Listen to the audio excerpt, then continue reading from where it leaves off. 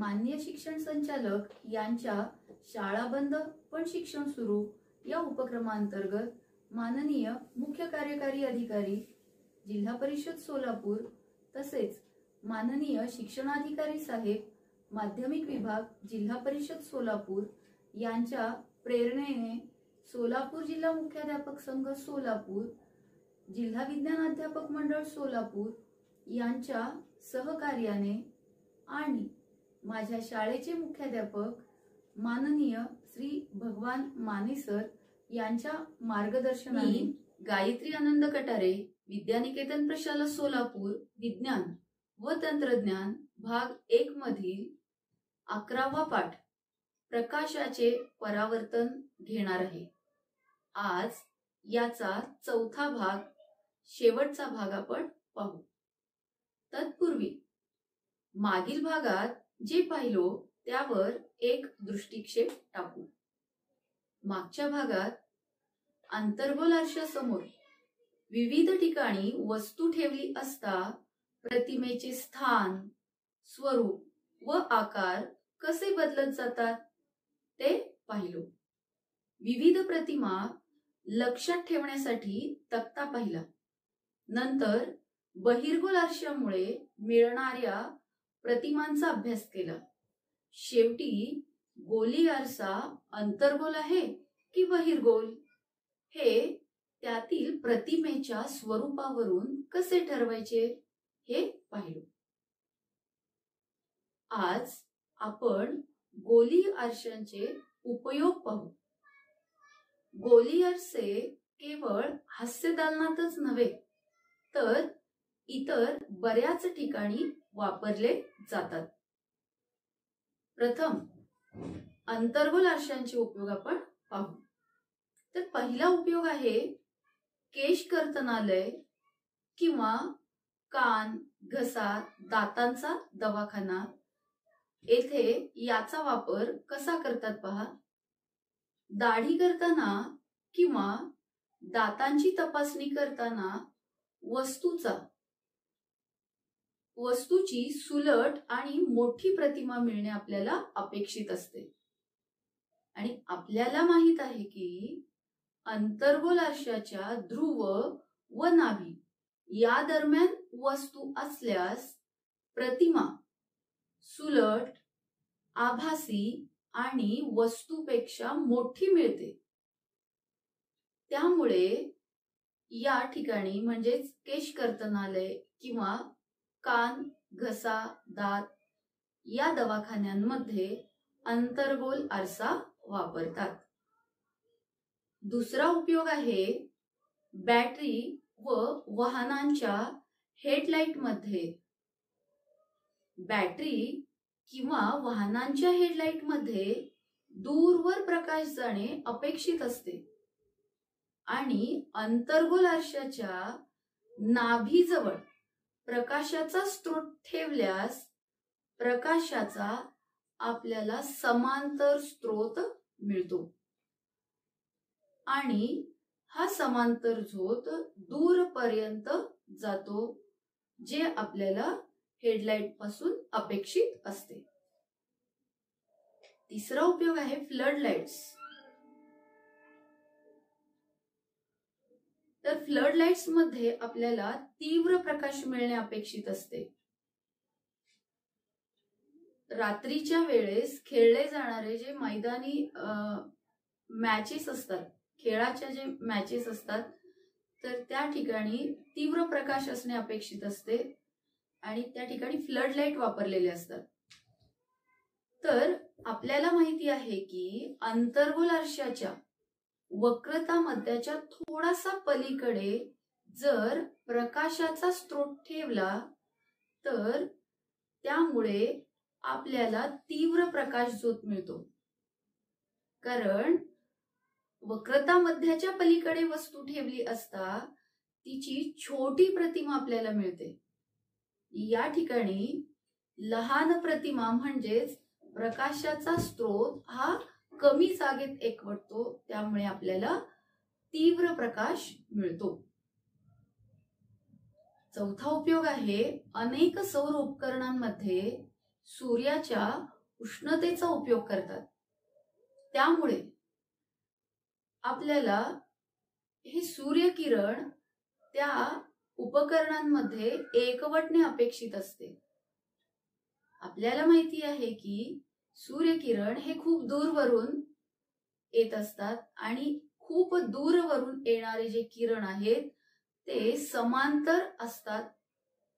आणि म्हणून जेव्हा असे अनंत अंतरावरून येणारे सूर्याचे समांतर किरण आरशावर पडतात तेव्हा आपल्याला माहिती आहे की ते आरशाच्या नाभीय प्रतलात एकवटतात अनेक किरण एकाच बिंदूत एकवटल्याने त्या बिंदू जवळील उष्णता वाढते आणि त्या सौर उपकरणाचा आपल्याला योग्य उपयोग करून घेता येतो. बहिर्गोल आरशाचे गुणधर्म आणि उपयोग पहा. बहिर्गोल आरशासमोर वस्तू कोठेही ठेवली असता प्रतिमा लहान आभासी आणि सुलटीच मिळते. याचा उपयोग एखाद्या दृश्याचा अधिकाधिक भाग पाहण्यासाठी होतो. तर पहिला उपयोग आहे गाड्यांच्या उजव्या व डाव्या बाजूला बसवलेले जे आरसे असतात यामध्ये गाडीच्या मागून येणारी वाहने माणसे वस्तू दृश्य दिसणे अपेक्षित असते.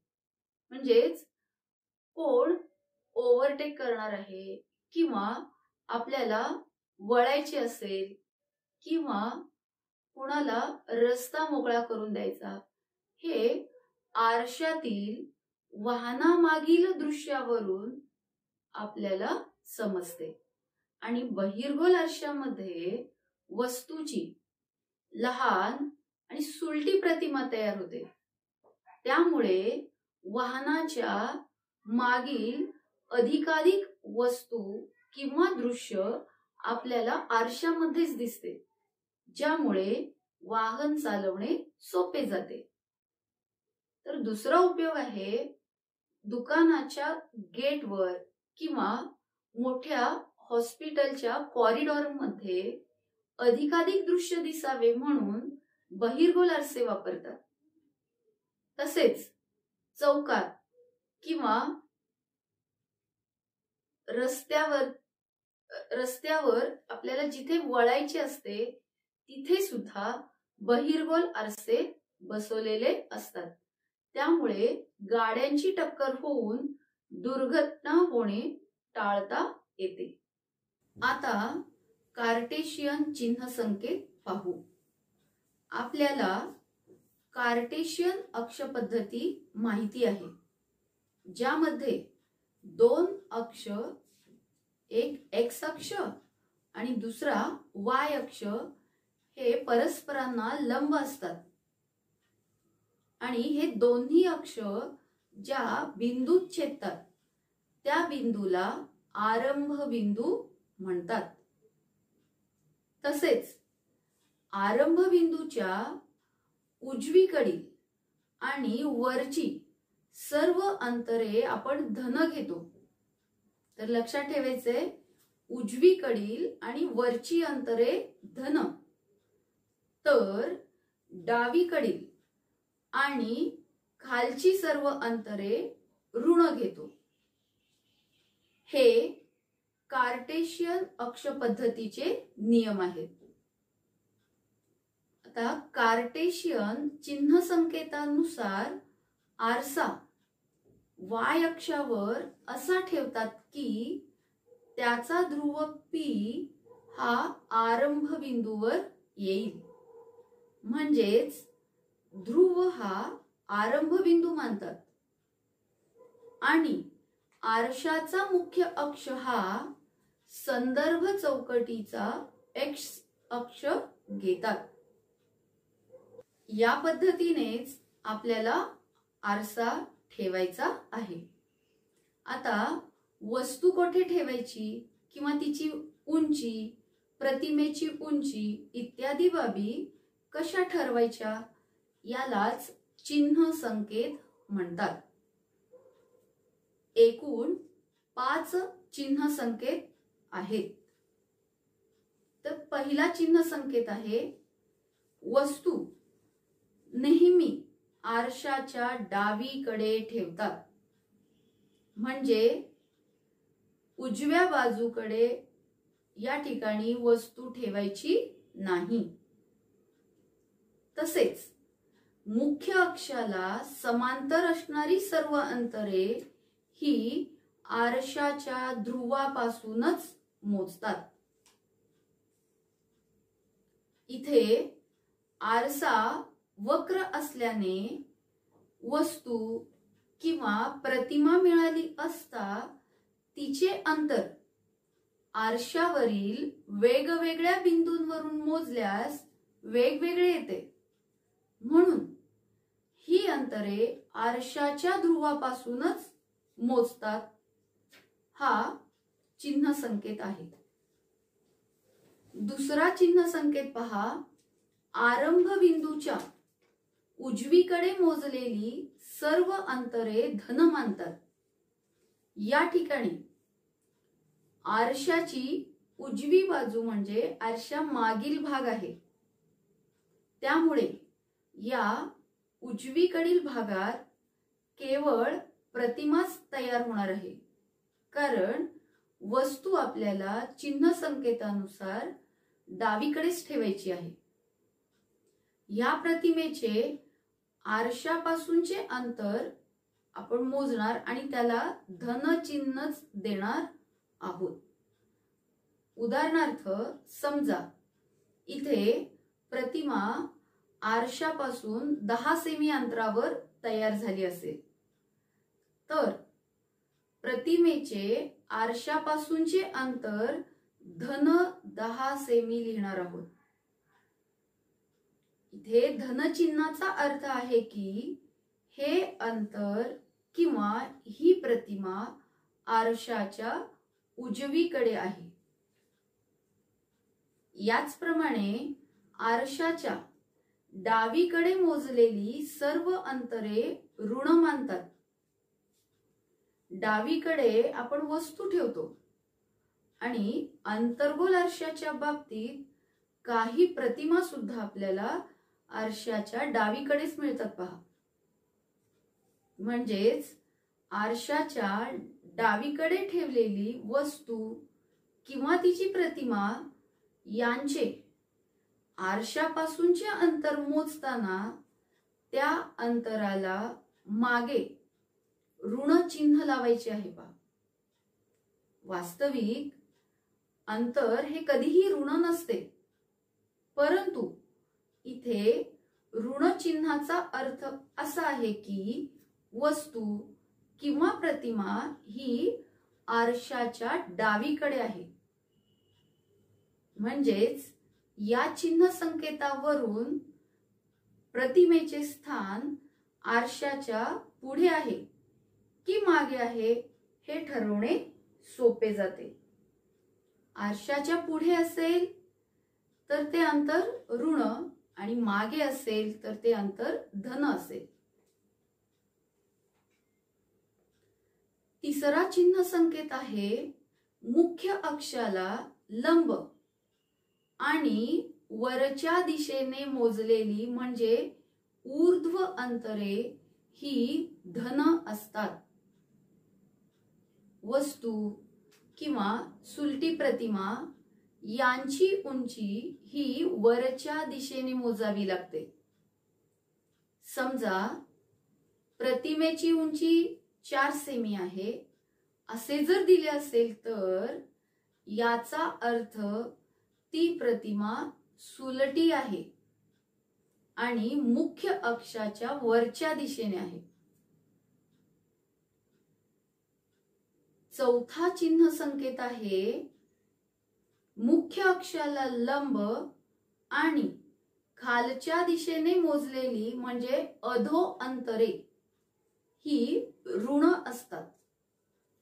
अधो अंतरे ही केवळ उलट प्रतिमेसाठीच मोजावी लागतात. समजा प्रतिमेची उंची ऋण चार सेमी आहे असे दिले असेल. तर इथे त्या प्रतिमेची उंची कधीही ऋण नसते. तर ऋण म्हणजे अधोदिशा म्हणजेच ही प्रतिमा उलट आहे. म्हणजेच प्रतिमेच्या उंचीचे चिन्ह जर ऋण असेल तर ती प्रतिमा उलट असते. पण प्रत्यक्षात उंची कधीही ऋण नसते. आणि पाचवा चिन्ह संकेत आहे अंतर्गोल आरशाची नाभी आरशाच्या समोर म्हणजे आरशाच्या डावीकडे असते. त्यामुळे पाचवा चिन्ह संकेत काय सांगतो की अंतर्गोल आरशाचे नाभीय अंतर हे नेहमी ऋण असते. तर बहिर्गोल आरशाची नाभी आरशाच्या मागे म्हणजे आरशाच्या उजवीकडे असते. त्यामुळे बहिर्गोल आरशाचे नाभीय अंतर धन असते. आता आरशाचे सूत्र पाहू. वस्तूचे अंतर प्रतिमेचे अंतर व गोलीय आरशाचे नाभीय अंतर यांच्यातील संबंध म्हणजेच आरशाचे सूत्र होय. ते पुढील प्रमाणे दिले जाते. एक छेद व्ही अधिक एक छेद यू बरोबर एक छेद एफ येथे व्ही हे प्रतिमेचे अंतर म्हणजेच प्रतिमेचे ध्रुवापासूनचे अंतर. यू हे वस्तूचे अंतर म्हणजेच वस्तूचे ध्रुवापासूनचे अंतर. तर एफ हे त्या आरशासाठीचे नाभीय अंतर असते. आणि हे सूत्र सर्व परिस्थितीमध्ये सर्व गोलीय आरशांना वस्तूच्या सर्व स्थानांसाठी उपयुक्त आहे. यानंतर आपण गोलीय आरशामुळे होणारे विशालन म्हणजे काय? ज्याला magnification due to spherical mirrors तर मॅग्निफिकेशन वरून कॅपिटल एम असे म्हणतात तर ते पाहू. विशालन म्हणजे प्रतिमेच्या उंचीचे म्हणजे यच चे. वस्तूच्या उंचीशी म्हणजे यच वनशी असणारे गुणोत्तर होय. म्हणून सूत्र पहा. विशालन बरोबर प्रतिमेची उंची छेद वस्तूची उंची.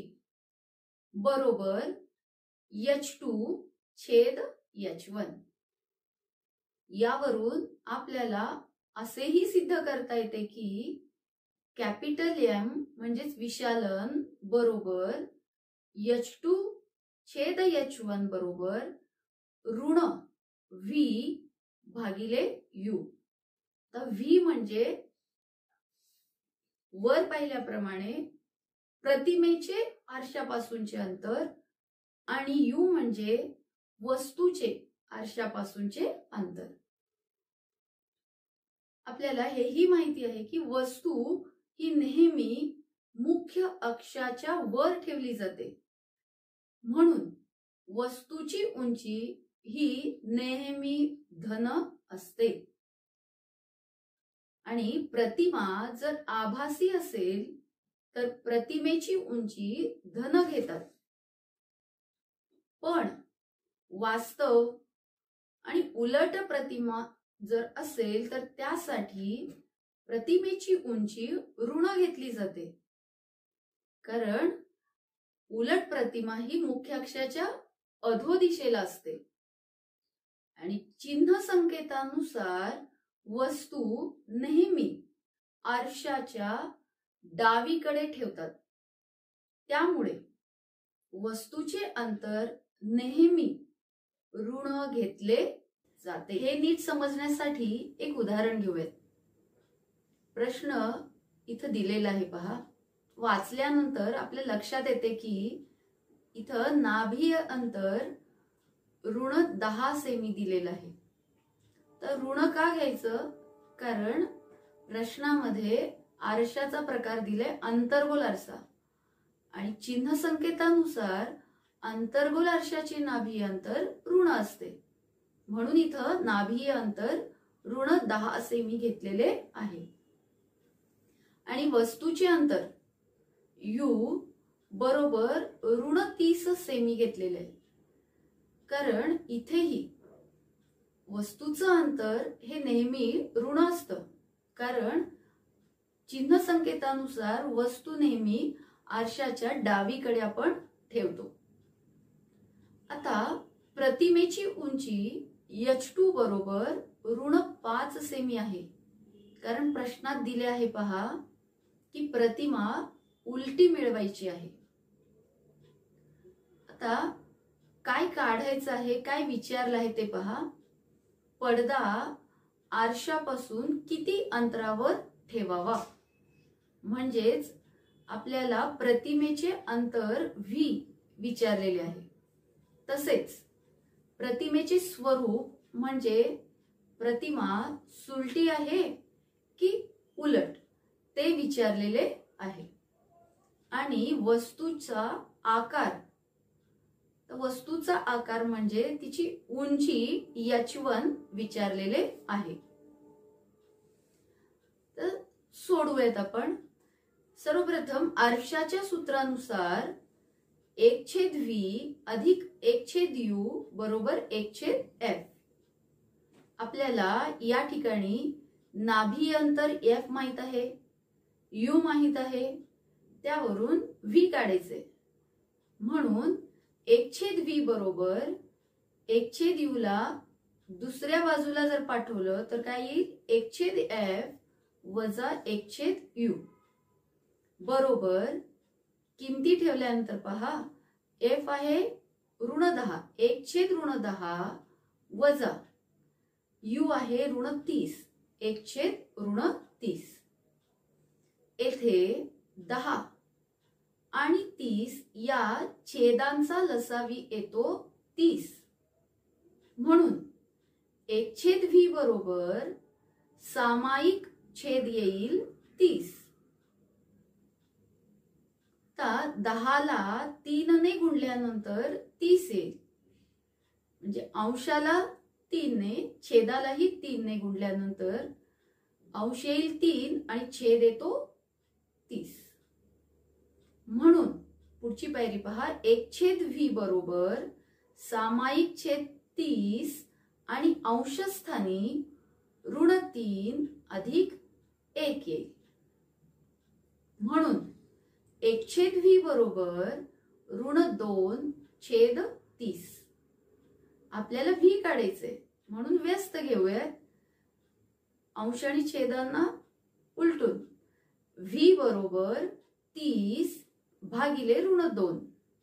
म्हणून व्ही बरोबर ऋण पंधरा. तर व्ही म्हणजे प्रतिमेचे आरशापासूनचे स्थान आहे पहा.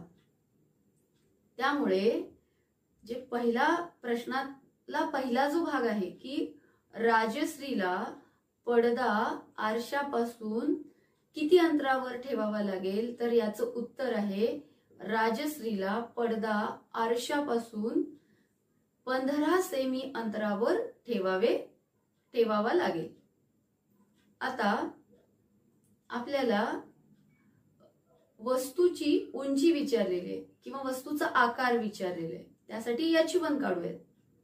तर त्यासाठी आपल्याला विशालनचं सूत्र वापरावं लागेल.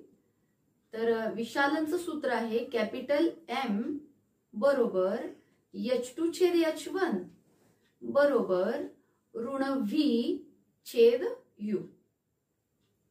या ठिकाणी आपल्याला यच वन काढायचं आहे.